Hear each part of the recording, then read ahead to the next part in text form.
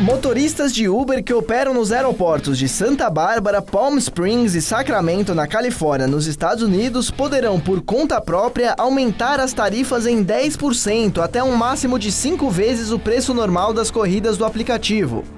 No modelo que iniciou os testes nesta terça-feira, quando uma corrida é solicitada, a Uber conecta o usuário com o motorista que estiver oferecendo o preço mais baixo.